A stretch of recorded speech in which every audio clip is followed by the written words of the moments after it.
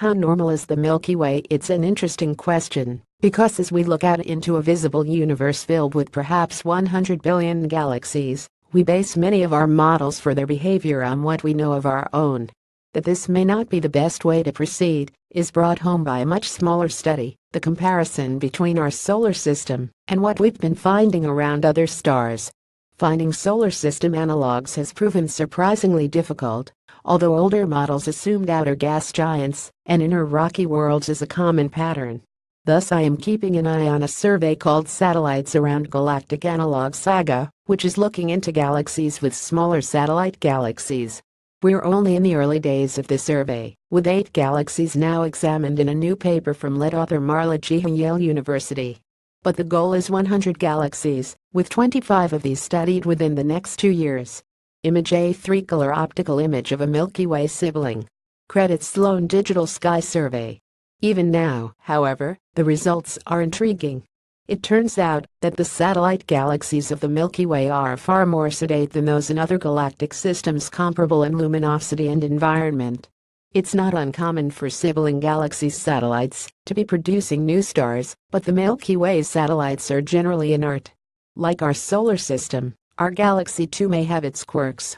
We use the Milky Way and its surroundings to study absolutely everything, said Geha. Hundreds of studies come out every year about dark matter, cosmology, star formation, and galaxy formation, using the Milky Way as a guide. But it's possible that the Milky Way is an outlier.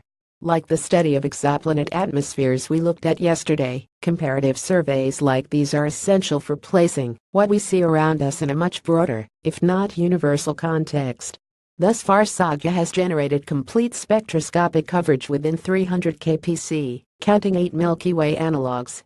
The process of choosing analogs is detailed and painstakingly recounted in the paper, but the gist of it is that the team looks at a galaxy's band infrared luminosity as a proxy for stellar mass and considers a host of factors related to the galaxy's halo and its large-scale environment including other nearby galaxies. Thus far, SAGA has uncovered 25 new satellite galaxies, 14 of which meet the survey's formal criteria, plus an additional 11 that remain incompletely surveyed.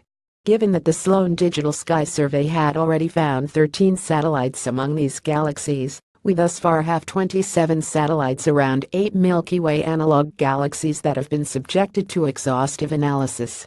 As to the Milky Way itself, we continue to find what the paper considers faint satellites as large area imaging surveys continue but the number of bright satellites has remained fixed since the discovery of the Sagittarius dwarf spheroidal galaxy about 20 years ago.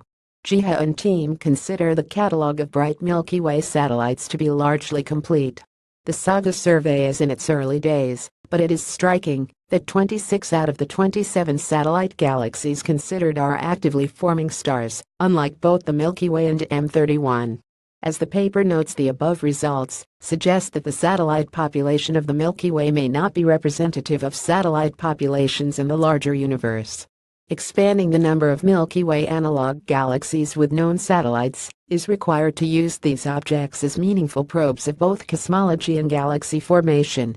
And this is also interesting we have characterized complete satellite luminosity functions for eight Milky Way analog hosts we find a wide distribution in the number of satellites, from 1 to 9, in the luminosity range for which there are 5 satellites around the Milky Way.